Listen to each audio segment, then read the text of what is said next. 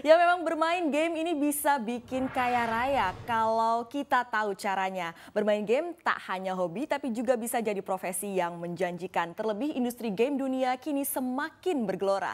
Akan kami ulas untuk Anda Crazy Rich Gamers.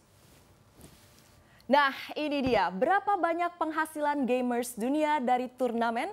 Kami kutip dari eSport Earnings. Berikut adalah 5 pemain game yang paling banyak mengumpulkan hadiah dari berbagai turnamen eSport tahun 2018.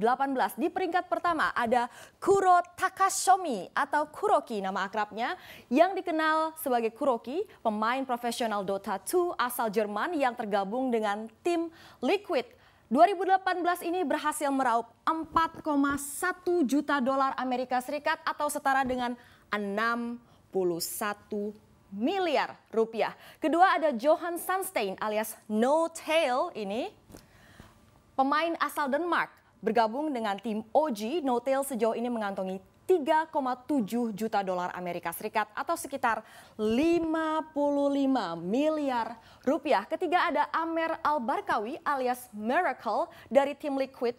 Pemain berdarah Polandia, Yordania ini telah mengantongi 3,6 juta dolar Amerika Serikat. Sudah bermain sejak usia 12 tahun dan kini usianya 21 tahun. Ini 3,6 juta dolar Amerika Serikat ini setara 54 miliar rupiah. Kemudian di urutan keempat kita lihat ada Ivan Ivanov alias nama aliasnya ini adalah Mind Control asal Bulgaria yang juga bermain untuk tim Liquid. Dari berbagai turnamen ia berhasil mengantongi 3,4 juta dolar Amerika Serikat atau sekitar 51 miliar rupiah.